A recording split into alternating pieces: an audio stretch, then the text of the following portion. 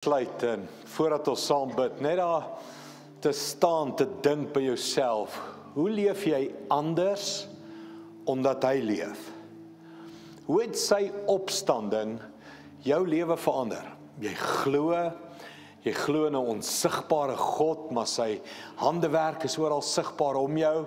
Uh, jy sal deur pyn en seer in jou lewe, teleurstelling, maar nog steeds byt jy vas, volhard jy, glo jy omdat daai wonderwerk van Jesus het uit die dood uit opgestaan. Diep diep binne in jou glo jy dit. En daarom leef jy anders. So daar waar jy staan, dink bietjie, hoe leef jy anders omdat jy hierdie waarheid glo? Kom ons bid saam. Hemelse Vader, ons kan uit ons binneste, uit ons hart, uit kan ons sê haleluja. Ja, Here, baie keer aan die buitekant gaan dit swaar en moeilik en is daar soveel omstandighede wat nog nie in plek is nie en ons lyk nog nie hoe ons wil lyk nie in ons lewens en ons land en klomp goed is nog nie in plek nie. Maar hier in my binneste kan ek skree. Halleluja. Want hy leef. En Here, daai wonderwerk is die basis van alle wonderwerke vorentoe. U wonderwerk is die rede waarom ons vasbyt, waarom ons volhard, waarom ons glo tot die dag wat ons doodgaan want hy leef. En ek gaan vir ewig leef saam met U. Here, hoe bid ek dat ver oggend net weer daai waarheid so vas in ons harte sal kom. Dat elkeen van ons so sal wakker word, sal wakker skrik en net besef hy leef en hy ken my en hy roep my by die naam en hy het my gemaak en sy woorde sal waar word oor my lewe want hy leef. Dankie daarvoor Here. Mag jy vanoggend en elke persoon hier net leef, net net u lewe loslaat binne in ons. Dankie daarvoor in Jesus naam. Amen. En amen. Baie dankie liewe gemeente, u kan gerus sit sê dankie vir Connie hulle, Sanet hulle vir die saamsing. En ja, soos Sanet gesê, die vroeë kerk het die tradisie gehad om te sê kom ons staan op en sing saam want hy het opgestaan. Nou daar's 'n ander tradisie as gevolg van die opstanding wat vandag so alledaag deel van ons lewe is dat ehm um, ons weet dit nie eers nie. En dis hoekom ons Sondag kerk hou. Uh die eerste kerk in die eerste 300 jaar het op Saterdag, die Sabbatdag, bymekaar gekom, Joodse kerkdag, Sabbat, was op 'n Saterdag gewees. En toe het die die kerk begin om dit te verander en op Sondag begin bymekaar kom, want op Sondag herdenk hulle die dag dat Jesus opgestaan het. Nou hier is hier is die beginsel. As jy op 'n Sondag in ons Afrikaanse tradisie, as jy op die Sondag die gewoonte het om 'n rustige dag te hê, 'n kerkdag te hê, 'n stildag te hê, daai tradisie kom van die feit af die vroeë kerk herdenk Sondag as die dag waarop Jesus uit die dood het opgestaan het. En daarom hou ons vandag Sondag kerk. So dis nie net vir oggend opstanding Sondag nie.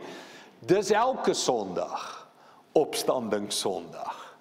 Elke Sondag herdenk ons die kern van Christendom. Nou, nou baie belangrik. Jy, jy moet hierdie hoor net en ek het dit al 100 maal gesê, jy moet dit bly hoor.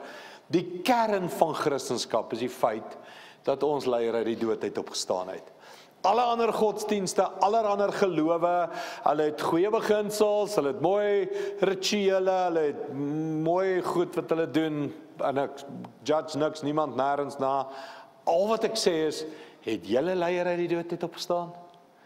Het julle leier die dood oorwin vir die mensdom? Ah, julle leier het iets vir armoede gedoen en julle leier het iets vir meditasie gedoen en julle leier het iets vir wêreldvrede gedoen en is pragtig, sterkte maar het julle leier die dood oorwin vir die mensdom. En en hierdie moet jy aan vashou. Want ons ons gaan al hoe meer ge-challenge word op wêreldgodsdienste. Al hoe meer. Christene gaan al hoe meer uitgedaag word sê, "Hoekom is julle reg? Hoekom is julle die enigste? Hoekom is ho, hoekom is julle die weg, die waarheid en die lewe? Hoekom hou julle so aan?" Hier's jou antwoord. Want dit is net Jesus wat uit die dood het opgestaan het. en vir die mensdom die dood oorwin het. So, dis die kern van ons geloof. Nou, ons gaan begin met 'n nuwe reeks vanoggend. En die nuwe reeks handel oor Jesus se eerste 7 woorde na sy opstanding. Nou nou ek het al baie gepreek oor Jesus se laaste 7 woorde. En ek dink almal van julle wat hier sit as ons so 'n bietjie 'n 'n 'n toetsie gaan hou, gaan jy ten minste 3 of dalk 4. As jy blond is, gaan jy definitief al 7 van Jesus se laaste Ag, daai was net om julle wakker te maak want julle lyk terrible. Okay. Ek wil as ek moet lyk like hoe julle lyk, like, wil ek weet hoe gaan julle na hierdie ou se preek luister hè. Hy het opgestaan. Woe woe. Is hierdie hele kerk vol stommers vanoggend? Ja, hy was lekker. Hy was lekker. Weet julle hoe weet ek hy leef? Die bullet vir 'n verandering 'n game gewen. Dis hoe ek weet hy leef. En Transvaal het die stommers op Nieuweland gewen. Ah, sien kry. Ek, ek sê Jesus leef, ek kry nie 'n hande klap nie. Ek praat oor rugby en ek kry 'n hande klap. Wat is fout met julle? Serieus. Okay, kom ons gaan aan. Daar's hy. Nou is julle wakker. Um ek het al baie gepreek oor Jesus se uh, laaste sewe woorde. Um kom ek gee 'n voorbeeld. Hy, hy hang op die kruis en hy sê ek's dors, né? Nee?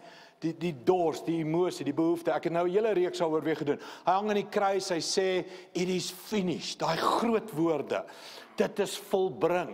Hy hang aan die kruis en hy kyk vir Maria en hy sê moeder, daar's vir jou 'n seun. Hy kyk na Johannes, hy sê seun, daar's vir jou moeder. So daar's net hierdie massiewe preke al in die geskiedenis van kerk gedoen oor Jesus se laaste woorde. Nou daar's baie min al gedoen oor Jesus se eerste woorde. Die eerste woorde na sy opstanding. Nou, hoekom is hierdie woorde belangrik? Met hierdie woorde vorm hy Hoor mooi, hy vorm die disippels vir die 40 dae wat voorlê voor sy hemelvaart en die 10 dae voor Pinkster. So ek dink almal van julle wat iets met my boek al gelees het of iets in ons reekse deel van ons kerk was weet hoe belangrik is die 40 dae tussen die opstanding en die hemelvaart net in my lewe. Vir my is dit dis die kern van ons geloof is hoe werk jy in daai 40 dae? Hoe hoe kom jy by jou hemelvaart uit? Hoe kom jy by by jou lewe van volgeling van Jesus, vol van die Heilige Gees en Jesus is in die hemel en ek doen die opdrag. So sy sewe eerste woorde vorm die fondasiestene vir die volgende 40 dae.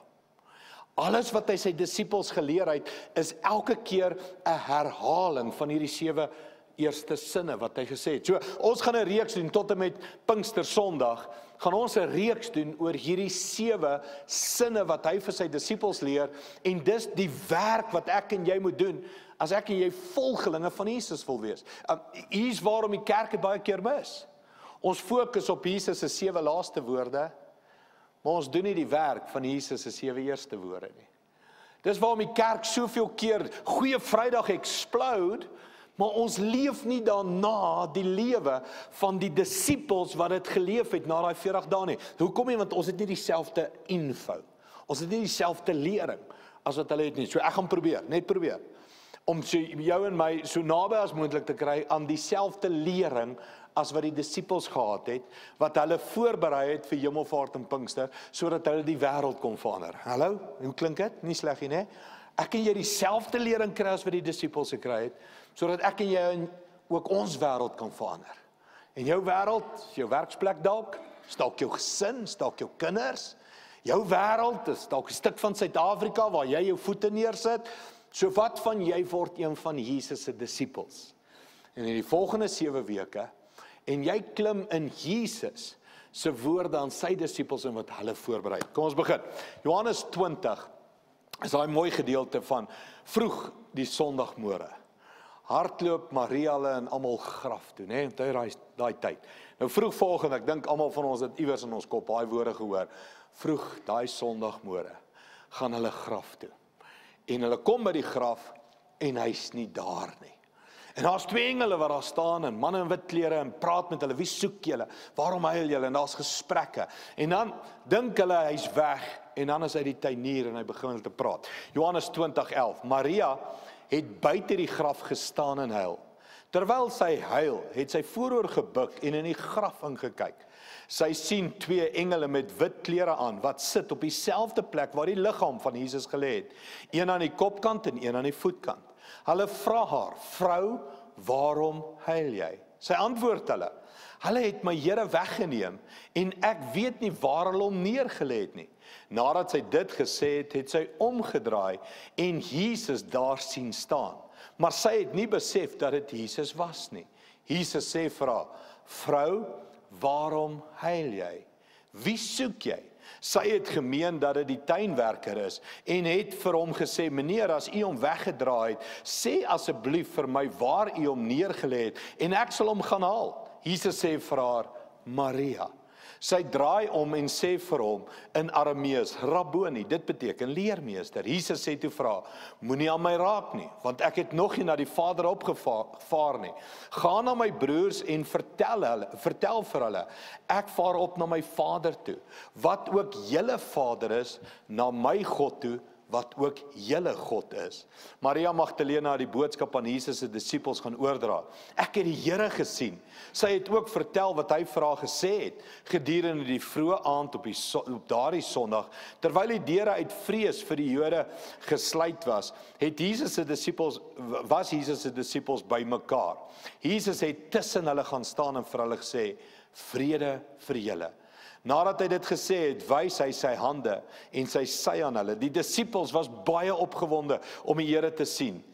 Vrede vir julle, sê Jesus weer 'n keer.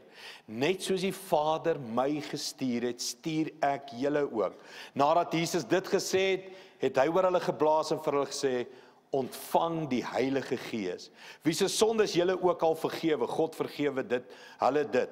Wie sin julle ook al handhaaf, God handhaaf dit. Nou, die gesprek gaan nog verder in. Ek stop net hier. Hierdie is so omtrent die eerste 5 sinne van wat Jesus sê. Ek het dit daar vir jou ge-highlight en en ons gaan in die weke wat voorlê gaan ons nou verder kyk na van daai woorde. Maar hier's van die groot woorde wat Jesus met sy disippels geleer het om hulle voor te berei vir hierdie werk hier op aarde, net soos ek en jy 'n werk het sonder dat hy fisies by hulle is. Hy's in die hemel, sy gees is by hulle, sy teenwoordigheid is by hulle, maar sonder dat hy fisies by hulle is. Hier's die werk wat hulle voorberei. Kom ons begin met die van die eerste woorde. Die eerste woorde is: "Vrou, waarom huil jy?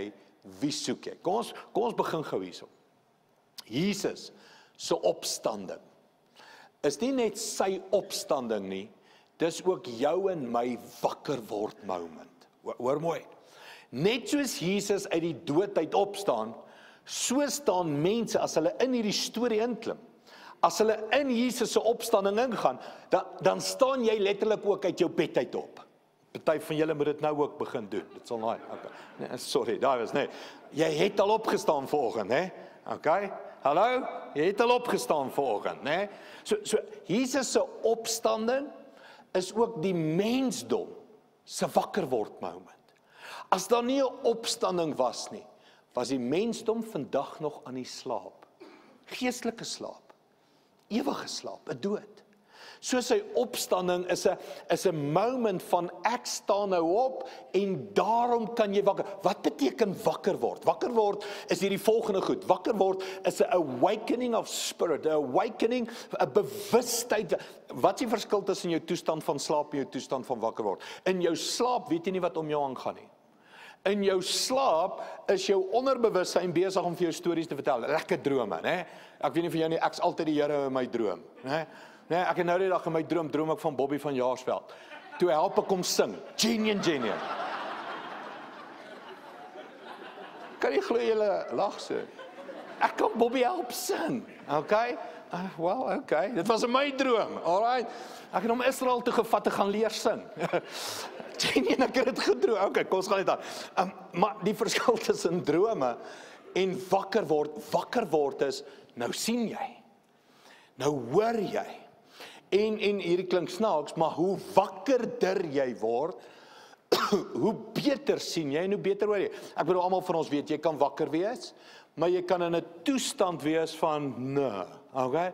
Jy jy sit in die kerk, al die mense begin om jou lag en jy sê hoekom lag hulle? Okay? het dit nou net met jou gebeur. Okay?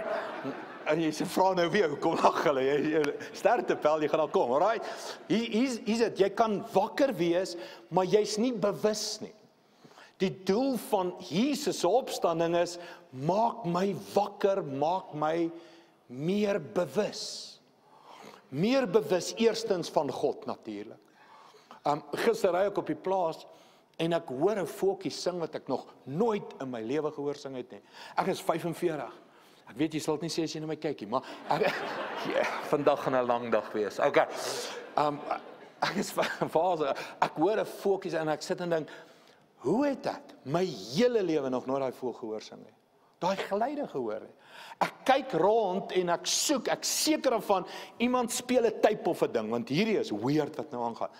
Dis 'n teken van wat? Bewustheid. Jy begin hoor. Jy begin goed sien. Die eerste vorm van bewustheid is goddelikheid. Jy begin God sien en hoor in meer dinge in jou lewe. Goed gebeur nie net nie. Dis nie toeval nie. Jy sien die hand van God in dit werk selfs seer en pyn, jy sien God se hand in dit. Jy begin verstaan dat hy's agter alles en hy's besig met al. So die eerste amazing vorm van wakker word in bewustheid is jy leer God beter ken. Die tweede een gelyke aan sê die slim ouens is jy leer jouself ken. Daar is geen goddelike openbaring wat plaasvind sonder dat jy nie ook iets van jouself leer ken nie. Regter die Bybel, as Petrus sê ek weet wie U is, U is die Christus, die seun van die lewende God, dan sê hy vir Petrus, "Jy's Petrus en jy is rots, die man op wie ons die kerk gebou." So altyd saam met 'n goddelike openbaring kom daar 'n kennis van jouself.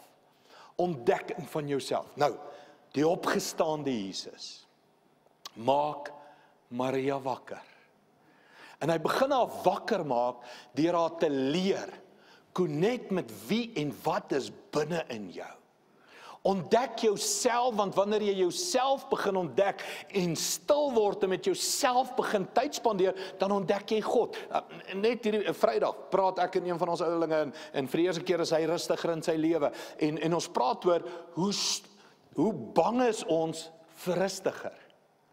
Want weet jy wat gebeur sodra jy begin stil bly? Nie meer 'n radio aan sit, nie meer 'n TV aan sit, nie meer 'n e-pos gaan lees, nie meer 'n WhatsApp kyk, nie nie meer nie meer besig. Weet jy wat gebeur wanneer jy nie meer besig is nie? Jy word gekonfronteer met jouself. Uh, okay. En ek moet bietjie met myself deel. Wie's ek? En wie's die God binne in my? En wat's my bigger purpose as werk? Ek bedoel, kom aan. Ons groet mense. Hallo, hoe gaan dit? Nee, goed en jy? Wie's jy? Ek Jan, ek se Piet en jy's ja. Wat is die volgende ding wat ons sê? Wat doen jy? Ons hele labeling is wat doen jy? Nee, ek werk by hierdie en hierdie company. Daar's jy gelabel. Keting. Dis wie jy is. No ways. Jy's baie meer as jou werk. Jy's baie meer as jou day to day gejaagde lewe. En dis wat Jesus begin. Sy opstanding is jou wakker word moment en hy help Maria om wakker te word met hierdie vraag. Waaroor huil jy? Nou. Hy vra jou. Waaroor huil jy? Hierdie is 'n amazing vraag. Jy jy sien, um, hy, hy vra nie waaroor word jy bly nie. Want kom aan, ons word oor ons word oor baie goed bly. Wel, nou, ek is net bly daaroor. Maar as nie diep binne my ek bly die bulle wen. Okay. Maar ek moet sê niks het in my lewe verander nie. Dit gebeur so min dat okay, kom ons gaan dit eerder aan. Okay. Hy vra nie wat maak jou bly nie. Kom aan, ons is ons is bly oor chocolates. Ons is bly oor 'n nuwe paar skoene. Ek raai toe was skimp op vroue. Um ons is ons is bly oor rek, ons is bly oor geld in die bank. Ons nee nee nee, hy vra dieper. Hy vra, kom ons gaan verby 'n oppervlakkige blydskap. Kom ons gaan kyk waaroor huil jy? Wat maak jou hart seer? Nou ek ek het self gedeel met hierdie vraag um vir vir vir 'n paar weke wat ek nou aan hierdie goed werk. En en ek het agtergekom ek huil maklik. Um oor nice goed wat regtig vir my waarde het. Met ander woorde, ek huil oor 'n huwelik wat versoen. So ek weet twee mense gaan deur 'n moeilike tyd in 'n patch en ek kry weer nuus en ek hoor dit gaan beter en hulle het vergewe en man, ek kan nie die trane terughou nie. Ek huil oor ouers en kinders wat vers, versoen. Dis dis my pathways hierdie. Dis die goed waaroor ek huil. Dis eintlik blydskap, maar dit roer my so diep dat dis waaroor ek huil. Waaroor huil jy? Probeer hy vraag beantwoord. Waaroor huil jy? Um ek's mal oor diere byvoorbeeld, né? Ek's mal oor my bokke en ek's mal oor beeste en skape en ek's mal oor diere. Ek moet jou baie eerlik, ek het nog ek het nog nooit gehuil as 'n bok doodgaan nie. Sê ek's mal oor hulle, maar ek huil nie oor hulle nie. Ek huil oor mense. Dis ek. Jy's anders, dit is fyn. Jy kan anders wees. Jy mag anders wees. Jy moet. Ek huil oor mense. Ek huil wanneer mense deur rowwe goed gaan, deur rowwe patches gaan. Ek is 'n useless beraader. Ek kan vir hulle amper niks doen in daai tyd nie. Ek kan hulle amper nie eens bemoedig met my woorde nie, maar my binneste huil. En ek wil 'n kerk bou waar daar mense, skilled mense is om hulle te help om deur daai moeilike tyd te gaan, maar dis nie goed waaroor ek huil. So ek het myself gaan evalueer. Eerstens, ek huil oor goed wanneer ek heavy excited bly raak. Um, vanaand is hierdie fliek aan, hè? Do, do you believe? Ah, ek het gehuil in die fliek. As jy dit vir iemand vertel, nê, nee, gaan jy huil. Okay? Maar ek sê dan my kinders kyk saam en dan vee ek my wang af. Nee. Nee, jy al jou wang afgevee as hulle rugby speel elke Saterdag. Okay? Maar nee, ek ek huil nie as hulle rugby speel. Ek huil nie oor 'n bok nie. Ek ek huil wanneer 'n life change happen. Wanneer mense connect, wanneer mense vrede maak. Um ek eh, jy moet verder ook gaan ons huil oor wanneer nice goed gebeur maar kom ons vra ook wanneer huil jy wanneer slegte goed gebeur 'n deel van my lewe my familie is op vakansie so ek vlieg terug vir dienste so ek vlieg redelik baie in my lewe ek ek huil as ek oor 'n plakkerskamp vlieg vet weet ek kan dit nie help nie. Het jy al gesien like my eyes jy sien like hulle eyes ek huil oor ek's maar net ek's 'n sakker. Ek huil as ek sien hoeveel miljoen miljoene rande ons regering steel en waste en nie na die armes toe vat wat dit ek huil oor sulke ja gat ek alweer. Okay dis die goed wat my mes maak. Ek, ek dis die goed waaroor ek huil ek ek huil dis nie reg wat aangaan in ons wêreld nie it's not fair En daardeur sê ek nie jy moet skuldig voel nie. Ek voel niks skuldig nie. Ek betaal my tiende, ek betaal my volle belastings. Ek, ek betaal. Come on, is die next ouse of responsibility to take it to the next level. So ek voel nie skuldig as ek daarna kyk nie. Maar ek huil dat die goed nie reg is nie. En mense sê kinders seer kry as gevolg van dit. Ek huil as 'n kindertjie sien swaar kry. Dit is ek. Okay. So jy moet gaan uitfigure Waaroor huil jy? Nog nog een treukie verder, ek huil ek huil oor sonde. Man, wat ons aan onsself en aan mekaar doen. Ek huil oor die die leen van sonde, die vashou van sonde. Die as ek met pelle praat, um, wat nog nie oorgegee het aan Jesus nie. Dit Daai aand, ek kan nie slaap nie. Ons sit om 'n braaivleisvuur en kuier en is lekker en ons lag en ons kom by Jesus gesprekke uit. En hier een of twee ouens wat nog nie op die journey is nie. Daai aand kan ek nie slaap nie. Ek sê Here, waar is woorde? Waar is sinne wat ek vir daai man kan sê? Want hy's so ver verwyder van vrede van vergifnis, van heling. So so dis die goed waaroor ek hel en ek het lang vrae gaan vra vir myself en ek het jy kan hoor. Ek het tyd spandeer hier op waar waaroor heilig. Um die laaste ding wat jy kan doen is as jy wil uitfigure waaroor heil jy is is hierdie ding. Wat wat is die absolute ding wat jou breek en wat jy nie meer kan vat nie? 'n 'n 'n groot fan van my wat ek omtrent al sy preke boeke alles al gelees het, Bill Hybels, 'n ou in Amerika en en hy hy preek van wanneer jy die die Popeye gevoel kry. Ken julle vir Popeye? Né? Nee? Popeye word rondgeklap en lewe is moeilik vir Popeye en dan doen iemand iets aan Olive, hy ongelooflike skoonheid van 'n vrou. Okay, het jy al vir Olive gesien? Okay, ek het al gesien loop op die strand ook 'n scary, maar in elk geval, okay, ja, vir Olive? Nee, dan doen iemand iets aan Olive en dan sê Popeye I can stand no more. En dan vat hy daai spinasie, dan eet hy 'n Popeye mussels. Hy hy Bible sê jy moet gaan uitfigure. Wat is die ding van I can stand no more? Wat is dit wat jou net so kwaad maak dat jy, jy you just can't stand no more. Jy moet dit gaan uitfigure. Ek het agter gekom as kerk nie werk soos wat kerk moet werk hè. Uh, um ek sit kalmeer pilletjies onder my tong. Ek ek joke. Dit is net 'n goeie illustrasie. Maar ek sit kalmeer pilletjies onder my tong as ons met personeelvergaderings hou. Want ek kan dit verloor as kerk nie werk soos wat kerk moet werk nie. So dis waarom ek 'n predikant geword het. En ek het dit nooit geweet nie, maar deur die jare het ek dit ontdek. Dis die dis die dis die dis die ding.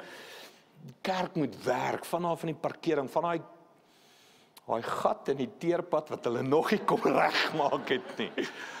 I can stand no more. Right? So dis net ek, dis wat nou, hier's dit. Jesus begin en hy sê vir Maria, "Waarom huil jy?"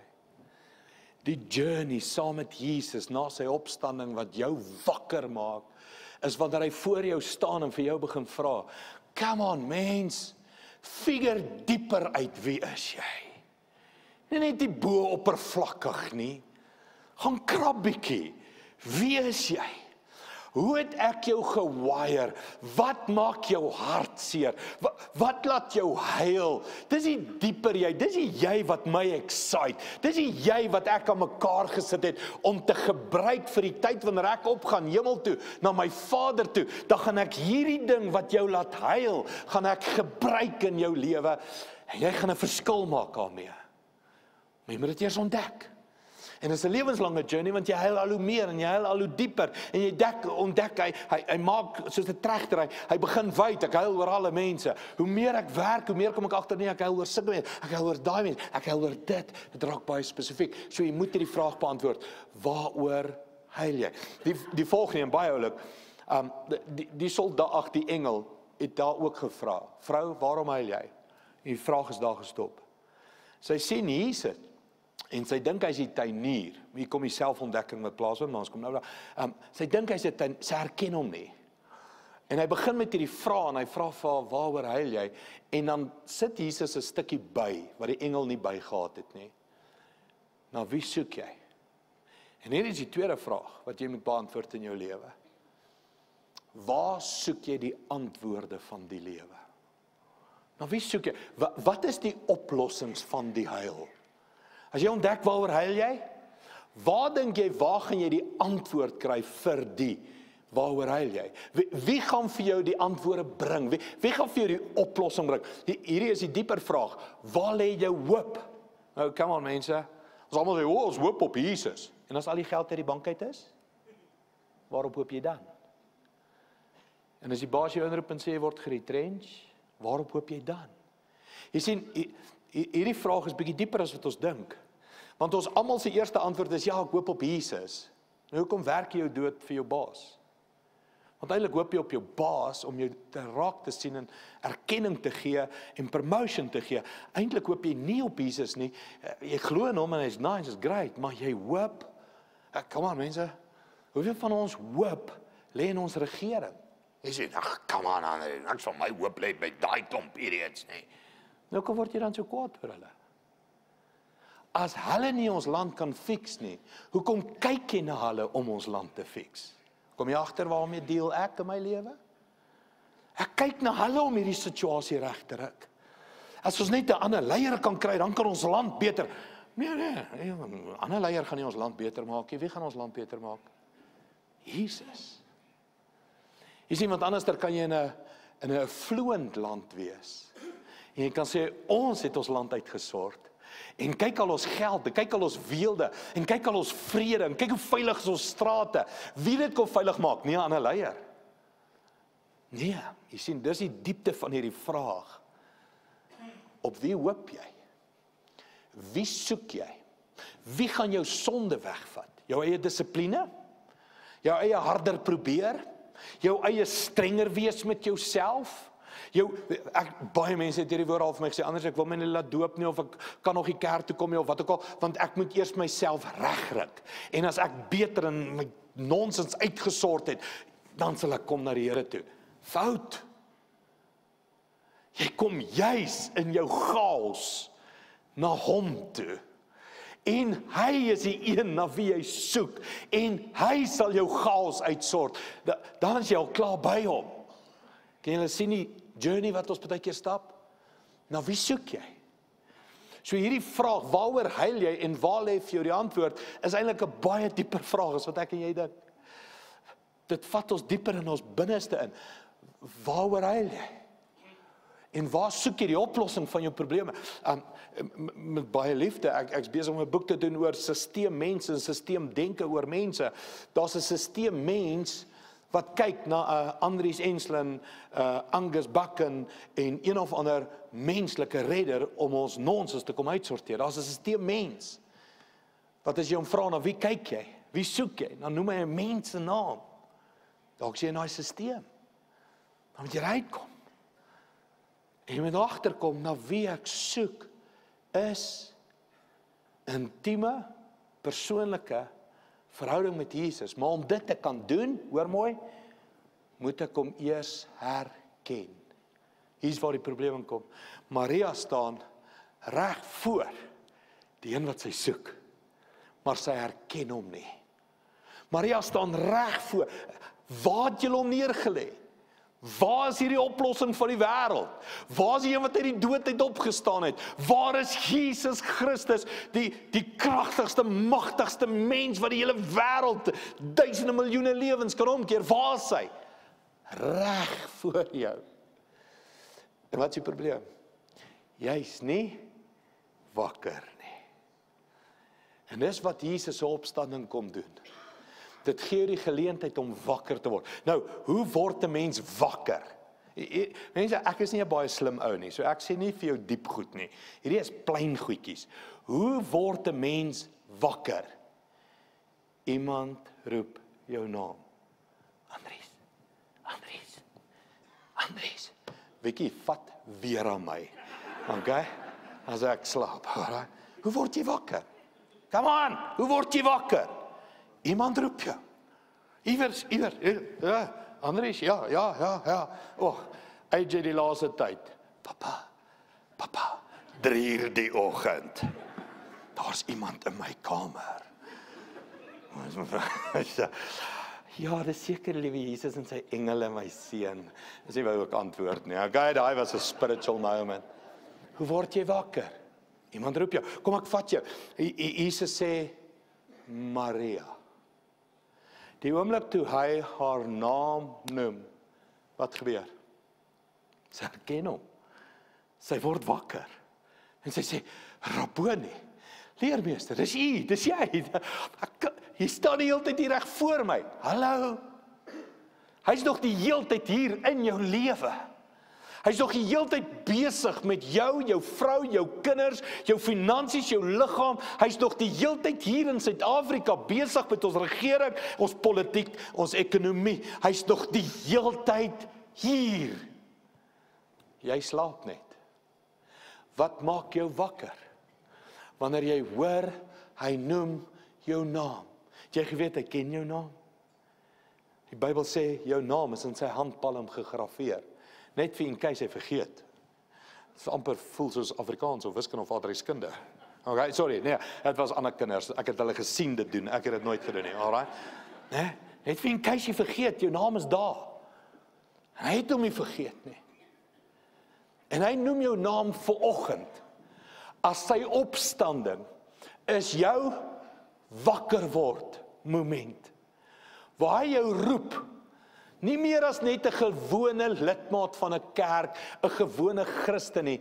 Hy roep jou as 'n volgeling om 'n werk te kom doen wat hy jou roep om te doen, om die wêreld om jou te kom verander.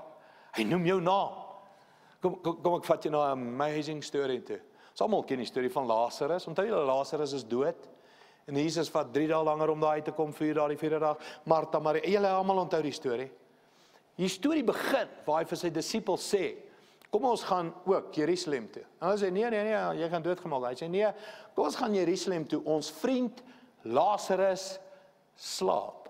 Johannes 11:11. 11. Hy sê: "Kom ons gaan maak hom wakker." En hulle sê: "Maar as hy slaap, what what what's the big deal?" Hy sê: "Uh, doffies, hy's dood." Ons moet hom gaan lewendig maak. Hoor mooi hoe beskryf Jesus die wêreld se toestand. Mensdom se toestand, dalk my toestand, jou toestand. Jy slaap. Jy's dood. En dan okay, hier, hier gaan die storie Jesus kom maar aan Martha Maria, is die opstanding in die lewe. Hoe maak Jesus Lazarus wakker? Hy noem sy That's it. Nou Lazarus kom uit. Hy sê ek en jy Hy wil jou naam noem. Hy wil jou wakker maak.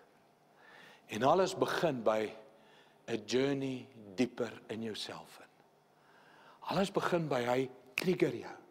Waaroor huil jy? Waar lê die oplossings van die lewe vir jou? Waarna soek jy? Wat is die nommer 1 ding waarvoor jy bid? Waar, waar lê jou joys in die lewe? Lê dit in jou kinders? Lê dit in jou huwelik? Lê dit in 'n werk? Lê dit in waar sal en hy begin met jou praat en hier binne in jou het jy 'n warbel van emosies van wie is ek en waaroor huil ek en waar soek ek oplossings? En the next moment terwyl jy besig is om bietjie dieper te gaan, noem hy jou naam. En dis jou ontwaking. En as jy begin van jou wakker word mens wees tyd. En nou moet jy al hoe wakkerder word. Jy jy, jy moet die voeltjies hoor sing wat jy nog nooit gehoor sing het nie. Jy moet God sien op plekke waar jy hom nog nooit gesien het nie. En jy moet hom innooi en jy moet deel word en jy moet hoor hy roep jou by die naam. Nou ek wil vanoggend afsluit net met dit. Hoe amazing sal dit nie wees as jy nou hoor hy noem jou naam. Hoe amazing sal dit nie wees? Hoe sal dit nie jou hele lewe verander as jy ver oggend klik? Maar Andries, hy roep my naam ook. Hy ken my. En eh, en ek erken hom nie altyd nie, maar hy's altyd hier. En vanoggend, opstanding Sondag, is dit nie net sy opstanding nie, dis ook my wakker word. En met die opstanding maak hy die hele wêreld wakker deur een vir een ons ons by die naam te roep en te sê Ek roep jou. Maria. So wat van 'n tyd waar jy net gaan bietjie deel met wie is jy? Waaroor huil jy? Waar soek jy oplossings? En terwyl jy met die eerste woorde van Jesus besig is, sal sy tweede woord jou naam begin in jou ore jou wakker maak. Um, kan kan kan ek hier net laat as ek weer is um, het jy al agtergekom baie mense word nie wakker as jy een keer sê wiekie nie. So daai was nie 'n skimp nie. Daai is rarig nie. Ek bedoel. Ah. Maar het jy gehoor party mense met jy paar keer wakker maak, party mense met jy bietjie skud? Hallo? Jy al agtergekom party keer skud die lewe jou? Skud gebeurtenisse jou? Is wakker word tye. Skud jou kinders jou? Skud die land jou? Waar hoekom? Want hy noem jou naam en jy hoor nie mooi nie. En baie keer moet jy dit meer as een keer sê. Partykeer moet jy jou skud, party partykeer moet goed gebeur, partykeer moet siekte, partykeer moet aanval, partykeer moet jy in 'n land bly wat nie sin maak, partykeer moet goed gebeur dat jy jou kan skud, dat jy kan wakker word, want hy staan reg voor jou. En hy wil 'n intieme verhouding met jou hê. Ek weet ek moet op. Wat beteken 'n intieme verhouding? Hy ken my en ek ken hom. Intieme verhouding, ons praat altyd Christendom is 'n verhouding. Wat's 'n verhouding? Verhouding is hy ken my en ek ken hom. En ek ken myself en ek ken hom. Verhouding is 'n wederwysige ek erken sy stem wanneer hy sê Andri sê ek ja. Want ek erken hom en hy erken my en ons ken mekaar. Dis 'n verhouding. So kom ons sluit af. Hy vra vir Maria terug by die Lazarus storie.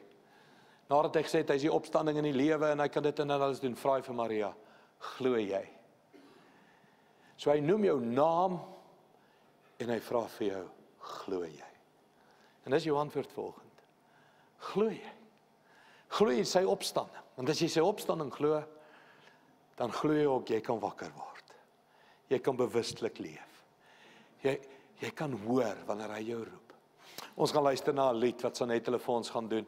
En die lied gaan daaroor nou hy's die skrywer van ons lewe. Tussen deur al die chaos en al die stemme al die seer en al die storms, Hy's die skrywer van my lewe. En 'n skrywer ken sy karakter se naam. En hy ken jou naam en hy skryf jou lewe. En die vraag is of jy wil oorgee. En net begin met hierdie dieper journey hierdie volgende 40 dae saam met ons. Hierdie dieper journey in die eerste woorde van Jesus wat jou en my kan voorberei as volgelinge en disippels wat hulle wêreld moet verander. Glo jy? Hy is die skrywer van jou lewe. Kom ons luister hierna.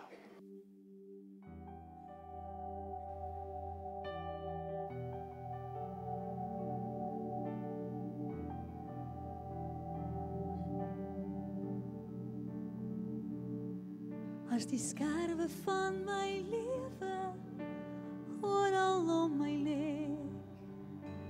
my wind verwaaide soeke sirkels om my draai.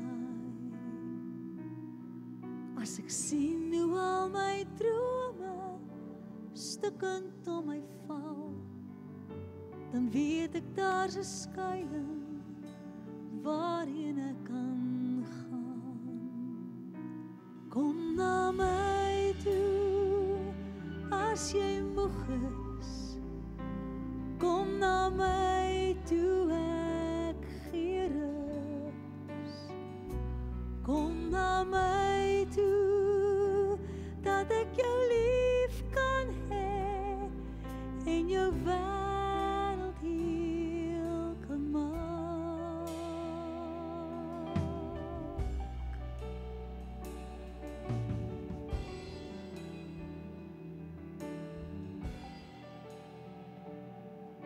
die storms van my twyfel. Ewig om my woed en my ongeloof se wysheid my weer laat verdwaal. Hou ek vas aan lewenswoorde ankers uit 'n boek. Gekerf uit baie smarte verseël met liefdesbloed kom na my toe as jy moeg is kom na my